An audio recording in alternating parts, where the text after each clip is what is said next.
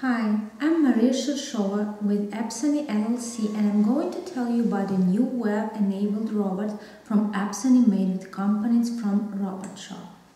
The components include a Leonardo, which is a type of Arduino 1 amp motor shield, plus motors, wheels, photodetectors, and a few components that you need to solder to make headlights. This part here you need to create with a cardboard and tape and it's a little tricky but the rest is pretty straightforward. So here is EyesBot driver in action.